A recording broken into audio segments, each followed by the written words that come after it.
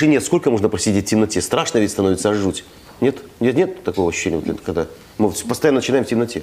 Это потому, что зимнее время не отменили. Не отмени, и поэтому у нас теперь постоянно будет темень, что ли? Конечно. Гриша? Темнота, друг молодежи. Да, Григорий Спичак, представитель молодежи, обсудим это на троих.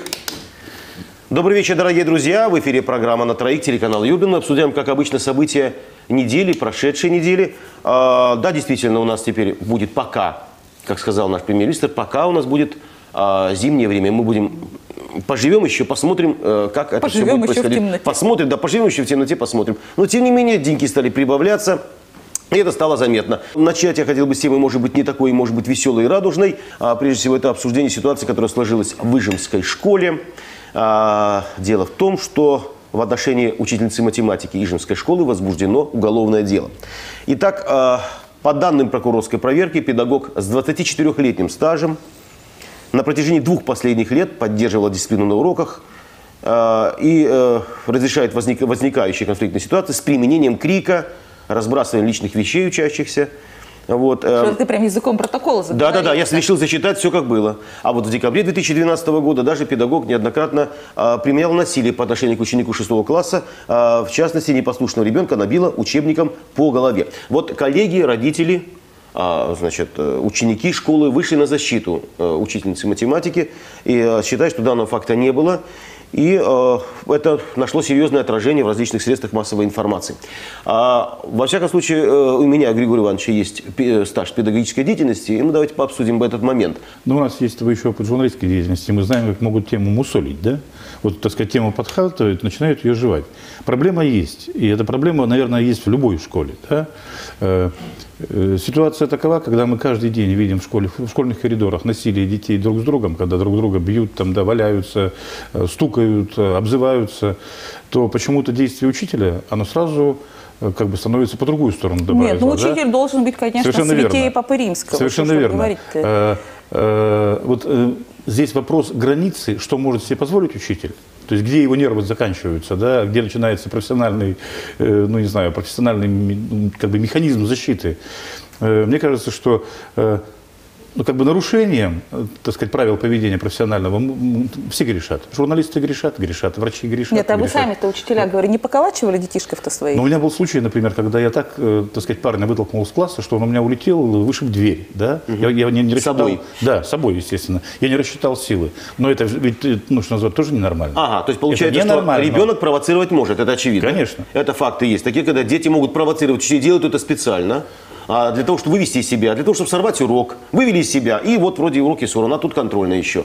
Как вы думаете, в принципе, вообще-то учитель-то, ну даже если вывели себя, он имеет право на такие вещи? Ну, конечно, нет. Так же, как врач, да? Так же, как еще, ну, не знаю, так сказать, даже военный не имеет права сегодня в армии, Получается, да? про- понять и простить, что ли, как говорится? Э, Ну, вот тут мне надо, мне кажется, надо разделить э, вот этическую составляющую, да, с, с- Физической. с- с- нет, с уголовной какой-то. Потому что если говорить уголовно-процессуальным языком, то тогда, э, знаете, к- ну, везде можно найти механизм э, там, или какие-то... Знаешь, Гриш, вот с нашим опытом педагогическим мы больше склоняемся с тобой, наверное, к тому, что, наверное, может вывести из себя ученик и учитель, ну не то, что может себе позволить, но с ним может некое произойти. Ну вот э, Лена мама, да, она, не- у нее нет педагогического стажа. Но это неправильно в любом случае. Это Я, в я- любом- это я понимаю, это неправильно в любом случае. Лен, ситуация подобная. Ты узнаешь о том, что произошел такой случай, пришла у тебя дочь, шишка на лбу, что ну вот учительница там ударила и так далее. Твои действия. Не я просто вспоминаю Ты свой понять можешь опыт. вот это, Я понять просто ситуацию? вспоминаю свой школьный опыт. Вот сейчас в комментариях я много читала по этой теме, да, Да. когда люди пишут, ой, вы знаете, меня так столько раз били головой о парту, но я так благодарен учителю, потому что у меня великолепно еще. таким образом были вбиты знания по математике. У меня был другой свой личный опыт, когда меня учительница подергала за плечо. Я просто помню свое состояние. У меня оно было близко к истерическому, потому что меня никто никогда в жизни пальцем не трогал, о чем я ей тут же заявила. И мы с ней поссорились на довольно продолжительное время. Неловко было всем, неловко было мне, но я была уже в старших классах. Неловко потом было ей. И нам было какое-то время очень трудно встречаться на уроках. Со временем ситуация сгладилась. Я думаю, что э, то, что там произошло, э, может быть, каким-то уроком будет для многих. Э, эта тема зачастую обсуждается, конфликт учителя и ученика. Я думаю, что без совместной работы э, учителя, э, родителей администрации школы, а может быть ру- руководство каких-то там РАНО или что-то еще, какие-то организации, не получится. Это должна быть совместная А работа. знаете, я сейчас о чем И подумала? обстановка некая и в школе, и в классе должна быть такова, чтобы не допустить подобного в принципе. Я считаю, что учителям нужно оказывать психологическую поддержку. Представляете, через какое количество эмоций они проходят ежедневно? Конечно. Кто им помогает? Вот есть социальные педагоги в школе. Хоть раз один учитель обратился к социальному педагогу, который должен, ну, с какими-то психологическими навыками. Я общался со школьным педагогом, психологом, он говорит, крайне редко. Крайне редко они подходят туда, вот именно по той ситуации. Вообще ситуация немножко напоминает вот ситуацию с ювенальной юстицией. Я но, тоже но об этом только не в думаю. семье, да, не в семье, а в школе. Потому что на самом деле ведь, так сказать, почему, когда мы защищаем ситуа- ну, ну, как уж называть, допустимость влияния на ребенка, в том числе силовым методом в семье, мы не допускаем это же в школе. Потому что ведь даже, даже насилие по отношению к ребенку, оно может быть, э, ну, как бы, добрым, отеческим. Ну, потому да, что это там, мой или там- ребенок, это мой да. ребенок, могу шлепнуть. Да. А это вот, э, извините, ребенок э, пришел просто учиться в школу. Ну, садистов в школе у нас, по-моему, нет, что кто-то приходит Ну да, э, чтобы- чтобы биться, намеренно да, да, для того, чтобы от этого, да. отрываться на детях. Поэтому это случай крайний. Но действительно, представьте, у человека в данном случае стаж 24 года. Что-то Представляете, привело? сколько Да. было вложено, сколько нервов было Что-то же истреплено, привело, да, привело. большая нагрузка, да, учителей, мы знаем эту ситуацию, что вот действительно вот этот вот постоянный конвейер, да, который происходит, и это он же человек, ему очень э, сложно, это помимо выдачи знаний, там еще и постоянное общение с по этому поводу. Вот в данной ситуации еще есть момент такой, да, могут там родители подать и так далее, действительно, учитель может быть наказан в том числе в уголовном порядке, но момент связан с того, что учителя выводит из себя, и он становится в результате, может быть, даже инвалидом стать, вот этих ситуаций тоже немало, и учитель здесь абсолютно не защищен. Конечно. Он как он-то как и может выйти? Он что, не пойдет на работу завтра и так далее? Плач учителей в учительские, когда они плачут в связи с тем, что их оскорбили, обидели и так далее. Я думаю, что непростая работа предстоит органам прокуратуры в данной ситуации. А, Ижма, небольшое село, там все знают друг друга многие годы. И люди не просто так выходят, просто из корпоративных интересов. Они знают этого человека. Я думаю, Ижма тут не единственное совершенно по- село и место, где такая ситуация Да, могла бы конечно, произойти. я думаю, что это везде, сплошь и рядом. И в этом смысле ситуация очень такая знаковая, да, показательная. Для... Ну и поэтому она вызвала такое обсуждение, потому что посмотрите, и те, кто учился, и родители, причем очень многие говорят, я всегда говорю ребенку, учитель всегда прав. Я думаю, что это не единственная тема. Это не единственная тема, которая вызывает такой всеобщий Нет, резонанс. ну правильно, но Да, это потому же была его любимая. Конечно. Белкамур. В этом, на этой неделе была еще одна тема, которая вызвала резонанс. Да. А Гриша же поэт Больше Белкамура, сейчас Поэт он нам Белкамура? расскажет, конечно. Больше того, больше того, Белкамур – это тема, которая будет звучать не на одной неделе. А э, на прошлой неделе мы получили просто яркое выражение, так сказать, это самый следующий шаг, да? Что мы услышали? О том, что по итогам российско-китайских переговоров по проекту строительства железнодорожной магистрали Белкамур руководство китайской гражданской инженерно-строительной корпорации заявило о желании выступить инвестором и акционером капитала. Ну вот мы сейчас посмотрим картиночку, как это происходило, подписание этого соглашения. Если можно, попросим нашего режиссера показать. Да, вот этот момент. А, Слева у нас господин Худозаров, руководитель Белкамура. Справа, ну, явно представитель этой самой корпорации. Вот, который радостно подписывает. Особенно это делает радостно и уверенно господин Худозаров. Потому что это не первый иностранец, с которым он подписывает подобное соглашение. Правильно я понимаю, Григорий? Нет, там и турки когда-то Нет, они свою изъявили желание. Соглашение первое. Соглашение первое. До этого была еще одна китайская компания, да, с которой уже подписывали. Это было в э, ноябре 2012 года. Да, был подписан меморандум о намерениях. а, Ну, там же, по-моему, китайской. с, э, с Министерством транспорта Китая. Одна, тоже Китай, одна из китайских А корпораций. скажите, Гришик, и зачем вот карта. китайцам это все? Очень просто, на самом деле. На самом деле, почему ситуация вокруг э, Белкамура изменилась радикально по сравнению с Белкамуром 90-х, например? Э, Дело в том, что Северный торговый путь, э, вообще арктическая зона, да, ее транспортная нагрузка к 30 году должна увеличиться в 3,5 раза, если я правильно помню цифры. И процентов 40 перевозок там, если не больше, это китайские перевозки. Если э, в 90-х годах мы ходили и предлагали как развязку северо-западного какого-то узла, то не случайно сегодня появляется Мурманск, не, не случайно сегодня появляются такие стороны. Потому что по большому счету заказ на этот северный торговый путь, на, на вообще на северный морской путь, он э, уже Россию делает подрядчиком.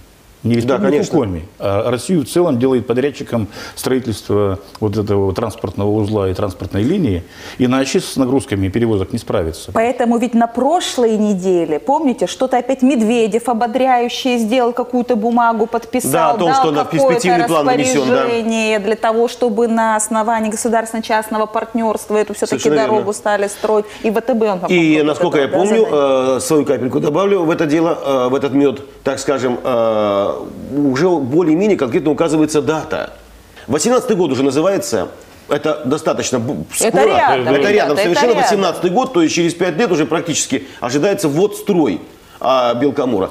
То есть я понимаю так, что э, наши попытки предыдущих лет, когда мы пытались биться за инвестора, да, и к тем обращались, и к тем, республика никогда не оставляла эту тему. Э, э, Значит, прежде всего мы обращались, конечно, к европейским, они рядом. Ну как же наш лес, Финны наши всевозможные- что-то тоже финны и так далее. И этом. оно формально Да. казалось, что Европа, да, Скандинавия близко. Да, да, И- конечно. Им это актуально. Они-то казалось. ближе. Да. А ближе оказались те, кому интересны рынки. ту сторону шарика, да. Совершенно верно. Кому интересны стали рынки. Мы его потом не потеряем, этот Белкамур. Ну вот э, потом какой-нибудь станет там китайской какой-нибудь транспортной компании или турецкой какой-то еще. А нам и какая разница постепенно. вот нет, в этом смысле? Нет у нас такого квасного патриотизма. Да Ну нет, вот здесь конституционная схема, она известна. По, этим Железная дорога строились. будет по, на- по нашей земле проложена. Там, я не знаю, половина недвижимости, половина земли в Нью-Йорке, по-моему, скуплена японцами. Мне гораздо, И интерес- ничего. мне, Нормально. гораздо, мне гораздо интереснее другое, что представьте себе сегодняшние первоклашки, да куда пер- первоклашки, даже те, которые сегодня учатся в шестом-седьмом классе, Да. через пять лет будут э, своим младшим братьям рассказывать, что они жили еще в старой республике. Степень изменения ментальности. Да, в той республике. э, да, э, всего прочего, вот это вот южного крыла. А меня в связи с участием китайцев интересует такой вопрос. Они нам будут только средствами помогать или они свою рабочую силу пришлют и тем самым повлияют на нашу демографическую ситуацию? Вот, Вот эта тишина вот меня это- да, да, да. Вот эта часть, она, она все... Да, я представляю, что будет твориться. Ничего страшного не будет, товарищи. Китай не самая плохая нация. Должны же какие-то пропорции расписаны Ну, быть, хотя, да? я вот я просто я все с точки зрения демографии, потому что в последнее время, как выяснилось, мы справляемся и без китайцев. На этой неделе федеральный министр заявил о том, что мы вошли в 40 регионов, у которых была, был прирост населения. В целом по России прогнозы, к сожалению, не оправдались, но Коми числе э, Башкирия, Зимнее по-моему... время. Все это зимнее время. Думаю, Да, это... Значит, Башкирия и еще там несколько областей показала вообще прекрасные результаты. Да. И у нас прирост есть действительно. А вот, э, значит, э, цифры даже вот такие даются, что в 2012 году в Коме появилось на свет 12 534 ребеночка. Это На почти 700 на 700 больше, чем больше, чем в прошлом году. Комментаторы говорят о том, что очень материнский капитал, конечно, поспособствовал, и в том числе региональная его часть, потому что очень много детей рождаются вторые и последующие. Ну, я думаю, тут, и тут масса моментов. И то, что все-таки у нас не такое страшное положение с детскими садами, как в других регионах. Ведь на самом деле все ведь познается в сравнении.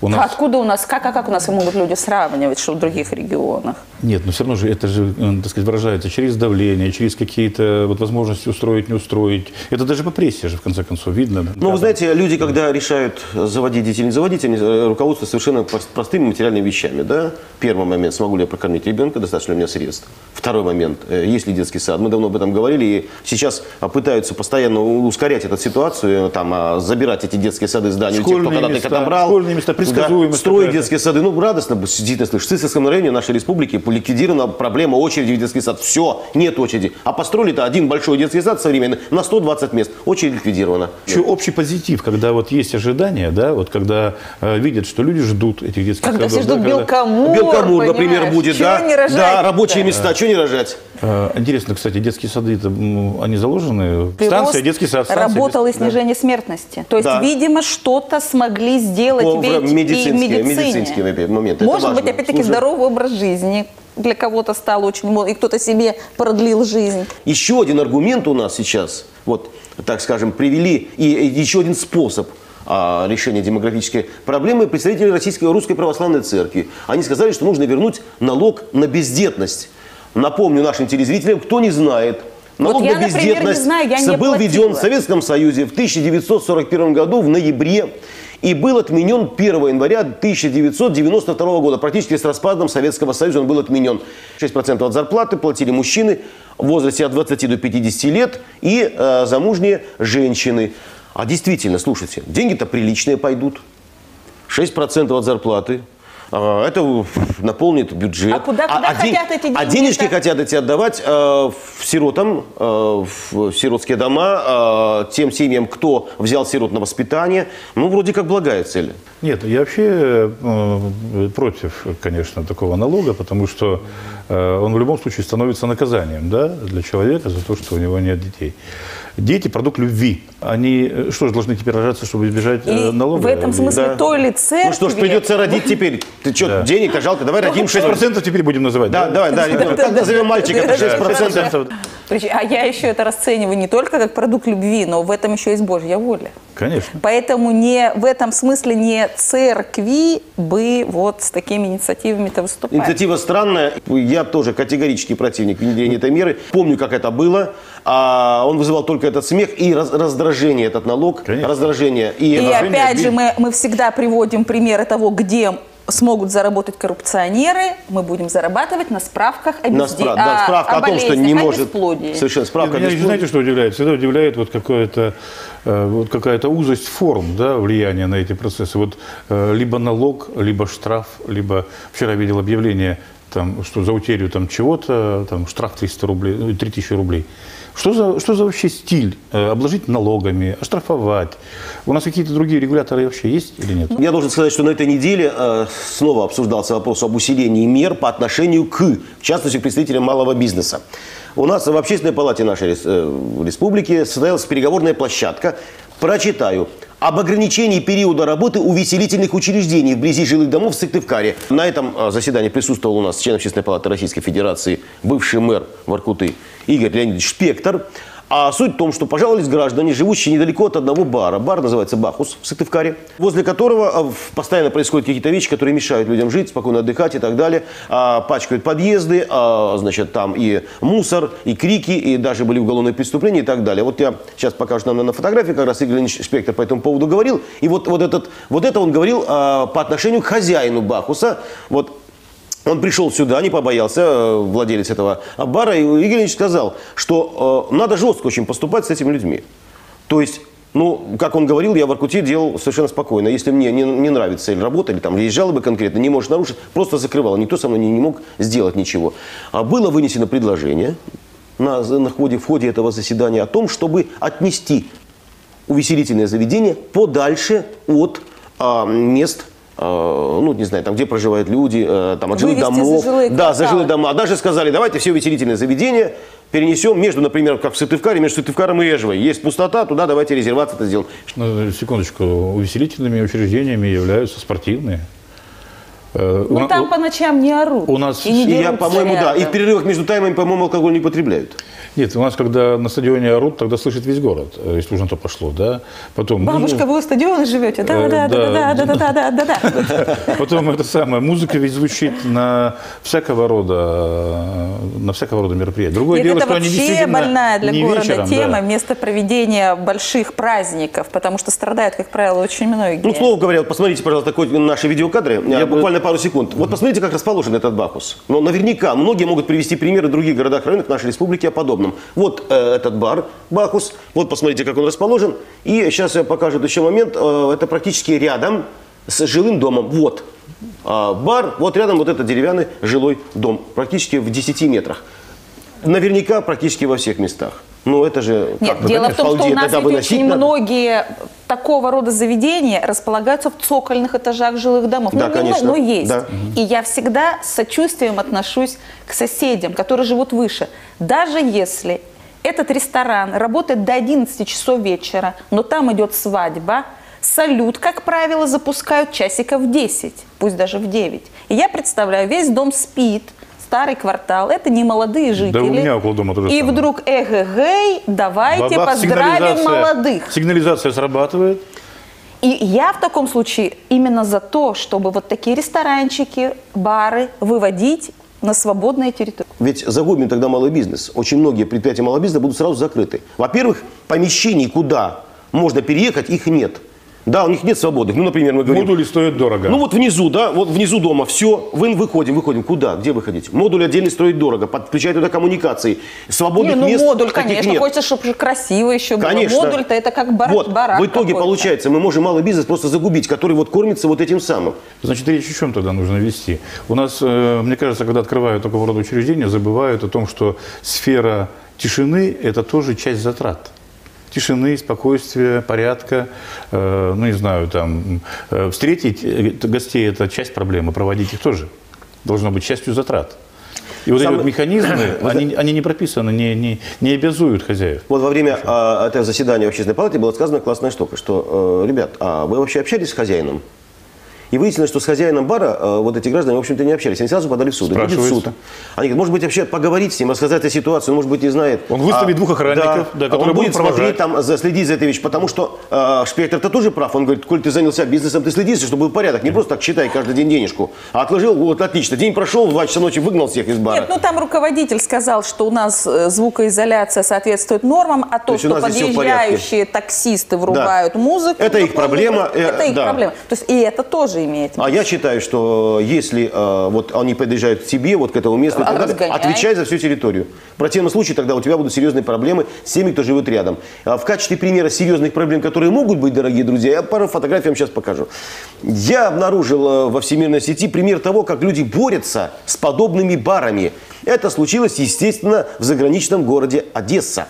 А, посмотрите, пожалуйста, А, назывался этот бар «Сказка». Вот, вот такой был вход. И пришел товарищ и забетонировал вход туда. Входа в сказку Или нет. То есть, я не знаю, были ли там люди в это время, но тем не менее, вот теперь такой вход. Вот так. Но это же Всё. уголовка, это же уголовка. Чтобы вот до такой ситуации не довести, я думаю, может быть, такая площадка и была сделана. Потому что ведь если жильцы начнут борьбу с баром, жильцов-то гораздо больше рядом сидящих и а, страдающих от этого бара, чем посетителей бара в любом случае. И забетонируют и все что угодно. Э, Это легко сделают. И если э, и их подъезды, слово сейчас найду, пачкают, то если начнут пачкать вход жильцы соседних домов, я думаю, что в этом случае клиенты напрочь забудут, вне зависимости от названия, Бахус ли там, кстати говоря, вот название Бахус. И сразу же представляешь, что там происходит. Вот, может быть, переименовать, как корабль назовешь, так и поплывет. Назвали бы нежность, а не надо. Я тогда знаю, что там будет. В подъездах еще не будет. В подъездах еще не будет от нежности. А, спасибо общественности, что начала этот разговор. поводу. Общественность на этой неделе еще обратилась к другой теме животрепещущей. Это качество наших авиаперевозок. Леонид Зильберг, член общественной палаты, Да. собрал журналистов и предполагалось, что придут и представители авиакомпании для того, чтобы поговорить, что доколе. Потому что я вот сама, как редкий пассажир, могу сказать, что в последнее время мне очень некомфортно. Вот раньше я заходила в наш самолет, и я уже как будто дома. Все. Сме- Сыктывкар начинался для меня в самолете. Газетка наша, да, там. Все наше. Приветливые стюардессы, никогда никаких проблем обслуживания. Сейчас ситуация очень изменилась. Начиная с того, как тебя встречают в аэропорту, как ты садишься, чем тебя кормят, то есть уже может еды какой-нибудь не хватить. И что делать пассажирам? Пытались понять. Может быть, э, капризнее стал пассажир? Может быть, э, благосостояние лучше, стали чаще летать, стали по, Ну, ты зна- потребовательней? не знаю, что считать капризом, потому что когда ты садишься в явно старый самолет, где не откидываются кресла, то речь идет не о капризах, в общем-то, а об элементарных С другой каких-то стороны, правилах. пассажир-то имеет право быть капризным.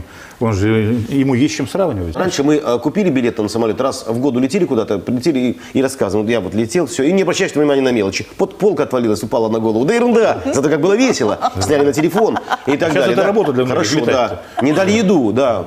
Скушал еду и стало не очень хорошо после еды, так еще веселее стало. было, да. Да, а сейчас как-то стало обидно по этому поводу. И люди у нас летают за рубеж и видят, как относятся на зарубежных авиалиниях к пассажиру. Относятся с величайшим пиететом, он денежку несет. Его там обожают, ему там и плед. И вот смотрите, И так далее. сейчас еще вставлю свои 5 копеек. Вот посмотрите, руководитель бара, владелец бара Бахус, понимая, насколько будет неприятный разговор, не побоялся Все равно прийти. пришел, да, И за это плюсик, ему плюсик. отдельная...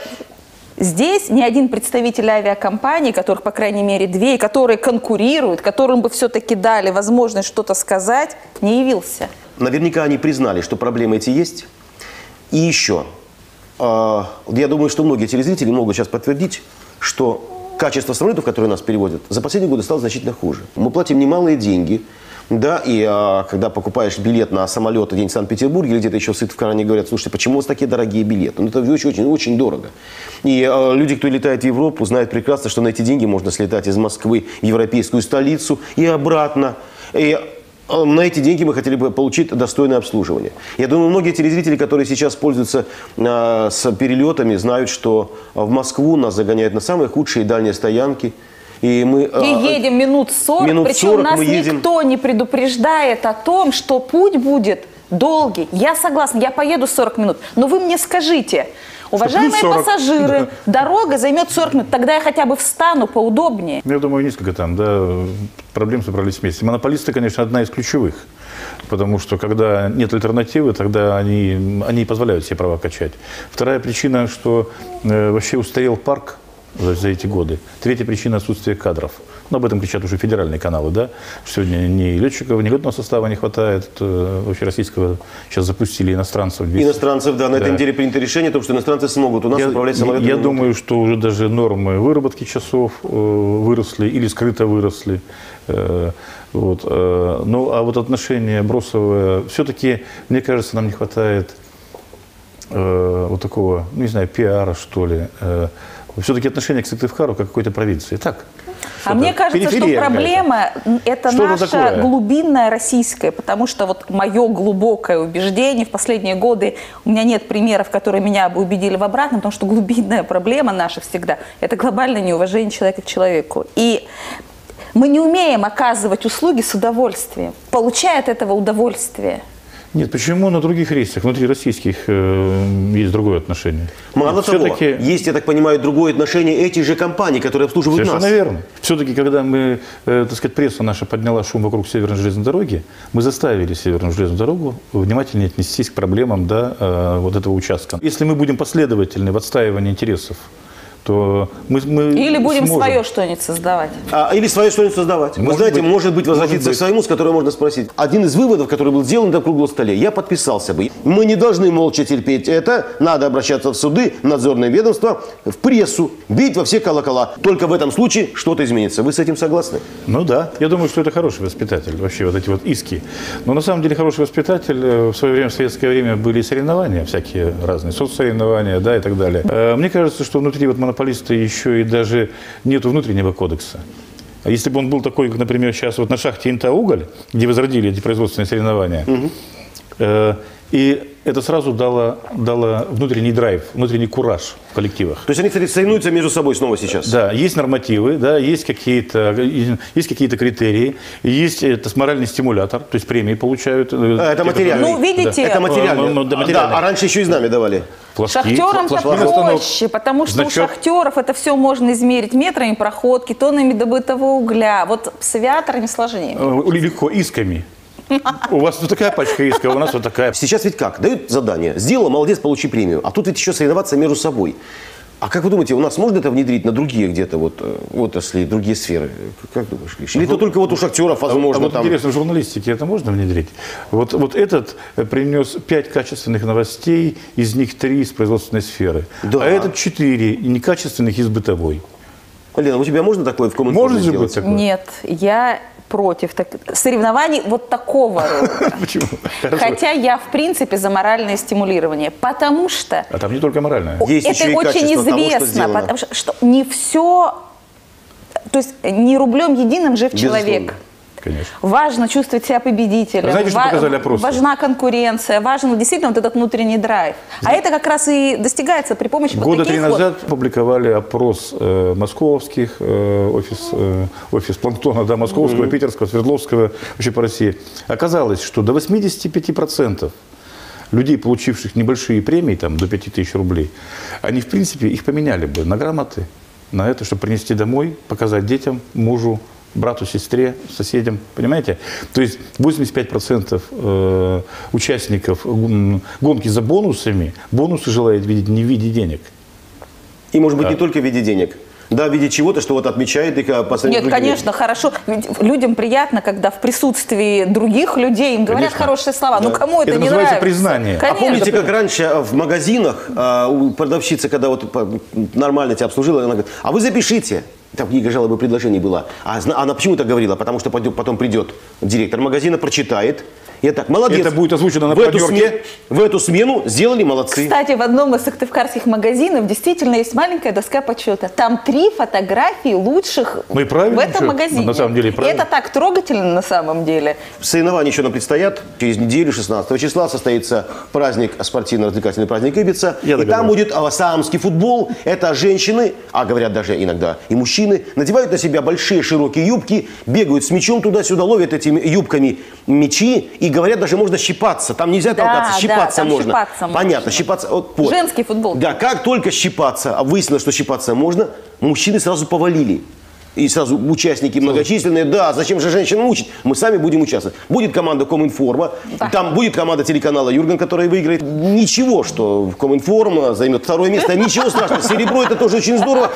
И еще, дорогие друзья, на телеканале Юрген началась трансляция, показ а, большого проекта под названием «Юрган в деревне». Восемь телеведущих отправились в село Иб работать на фермерском хозяйстве. Вот это было в первой серии. Вот наши так вот выходили вот в такой одежде. Трудно им, да, трудно. Да, да, да, да, да. А там вокруг, а там вокруг, понимаете, э, домашние животные. Вот у нас тут хозяин фермы, понимая.